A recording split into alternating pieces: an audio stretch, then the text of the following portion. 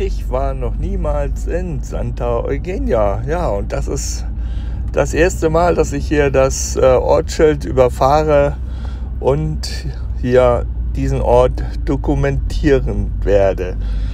Es ist ein kleiner mallorquinischer Ort, nicht so weit weg von Palma, vielleicht eine Viertelstunde ungefähr.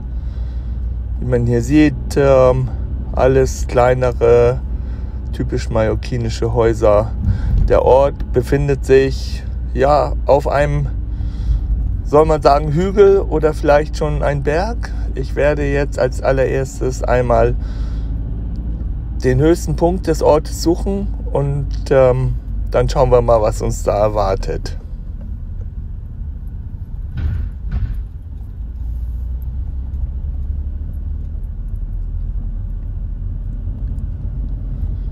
Alles hübsch und gepflegt hier. Schöne Allee.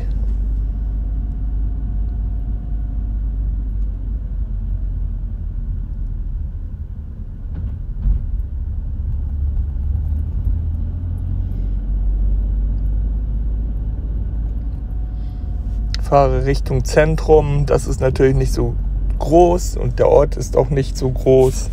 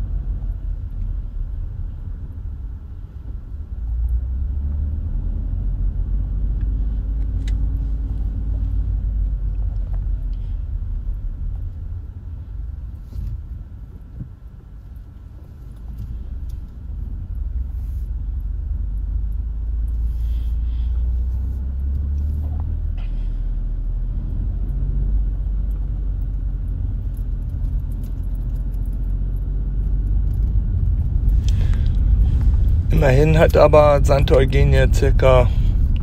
1600 Einwohner und ich fahre jetzt hier einen ganz, ganz steilen Berg hinauf. Das kann man, glaube ich, gar nicht so erahnen hier anhand des Bildes. So steil hier.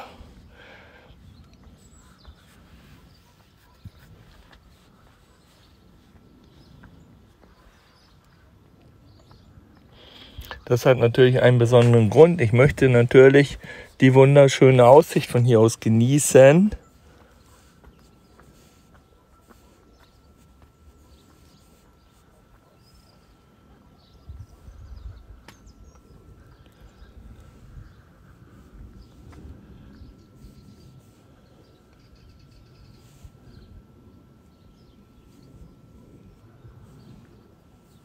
Tja, und wie man sehen kann,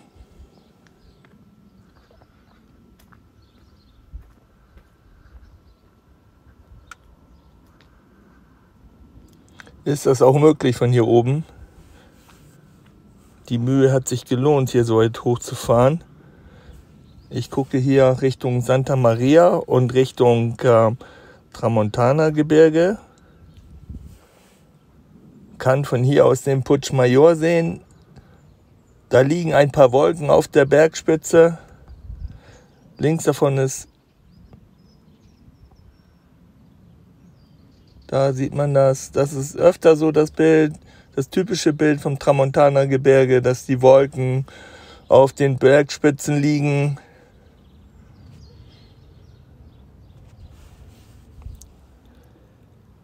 Rechts geht es weiter Richtung Poyenza. Weiter links befindet sich Soja. Und dazwischen, ziemlich nah an Soja, ist der Putschmajor. Der ist 1436 Meter hoch. Und ich habe hier das Gefühl, dass ich schon so auf halber Höhe fast bin. Also fantastische Aussicht von hier oben.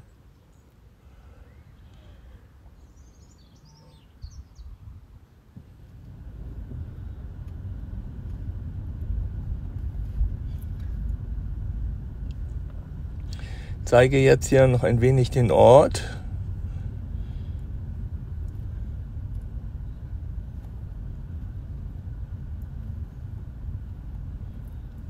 An Einkaufsmöglichkeiten gibt es hier alles in einem kleineren Bereich, sage ich mal, für den täglichen Bedarf.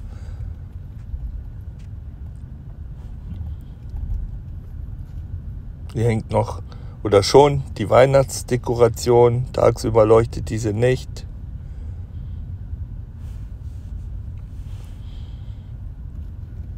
Ich bin hier heute am Vormittag. Wir haben jetzt 17 Grad, unglaubliche 17 Grad. In der Nacht war es allerdings sehr kühl. Das heißt 10 Grad, wenn man das als kühl bezeichnen kann, aber die kühle Luft, die Feuchtigkeit lässt einen das ein wenig ja, spüren. Ohne Heizung geht es da kaum und tagsüber kein Problem.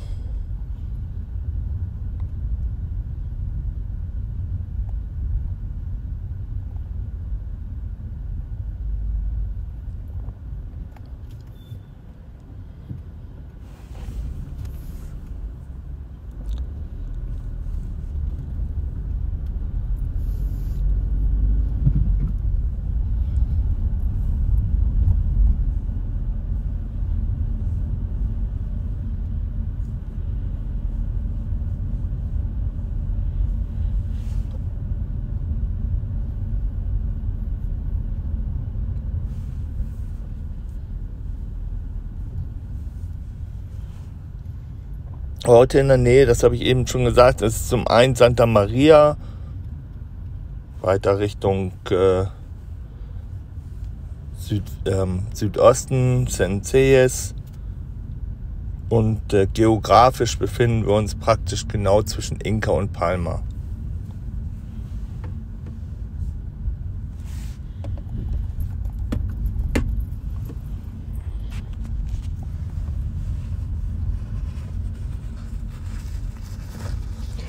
Der Tag hat wirklich sehr gut begonnen, wie man hier sehen kann. Überwiegend blauer Himmel.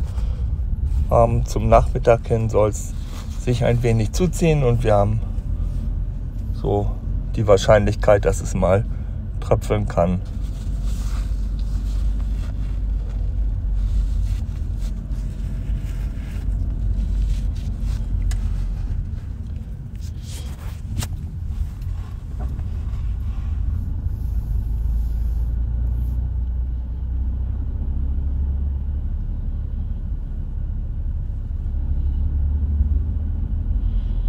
Fahre jetzt einmal Richtung Kirche.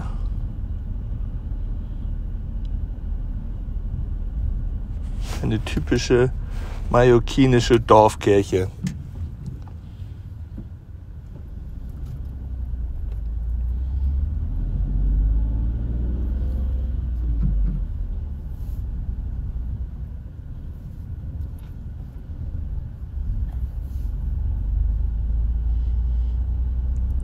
Ja, das ist so typisch für Mallorca, dass auch die sich am höchsten Punkt oder am fast höchsten Punkt immer befinden.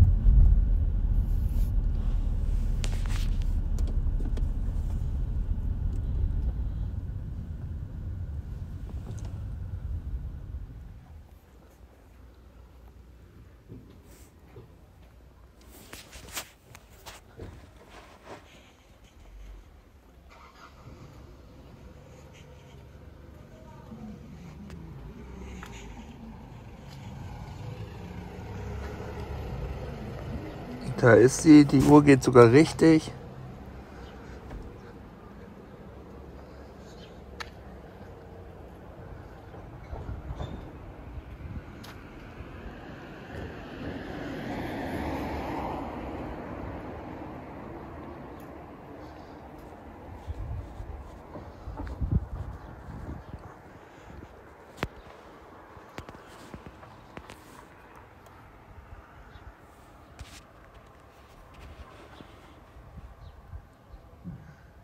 Und da ist sogar eine Sonnenuhr.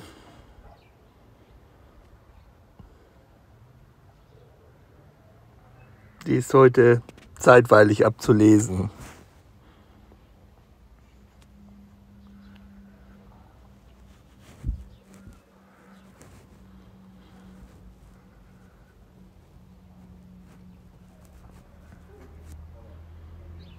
Ganz schlecht diese Kirche. Das ist nochmal zeigenswert hier. Hier hängt ein Tableau, wo ich wirklich alles überblicken kann. Es ist alles beschrieben. Hier unten, jeder kleine Ort ist beschrieben, wo er zu finden ist. Das ist top. Also wer hier mal herkommt, an der Kirche zu finden. Und dann hat man auch kein Problem, sich hier zu orientieren.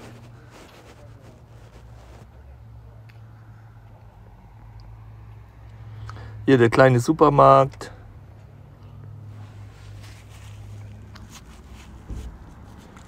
Auch diese Tafeln gibt es hier überall. Also das ist alles richtig toll gemacht.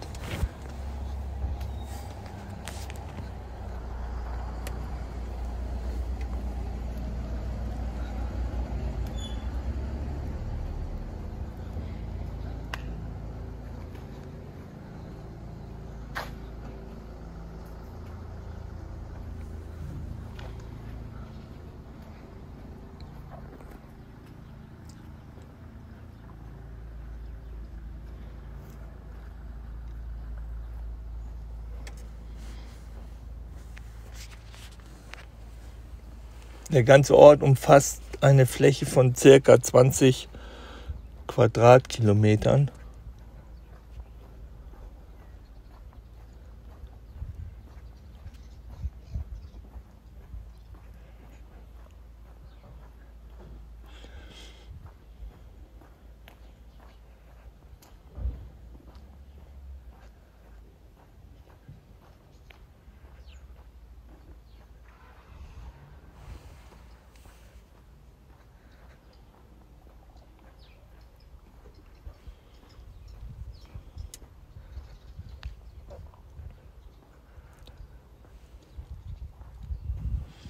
Das hier auch toll gemacht.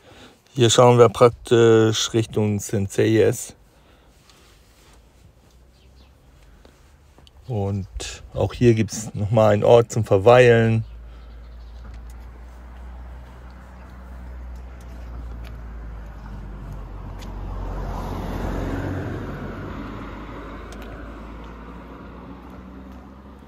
Diese Straße führt, ich meine, nach Al-Qaida oder Richtung Al-Qaida.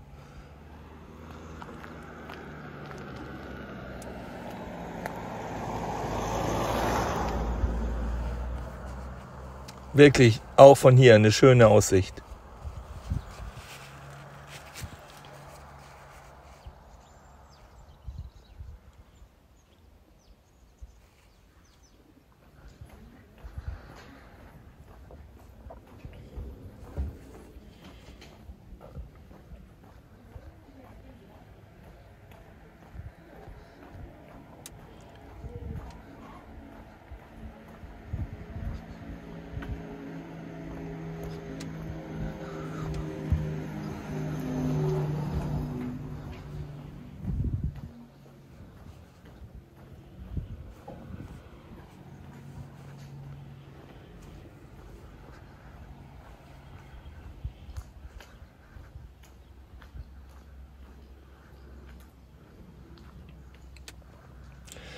Auch von hier nochmal der Blick Richtung Tramontana Gebirge.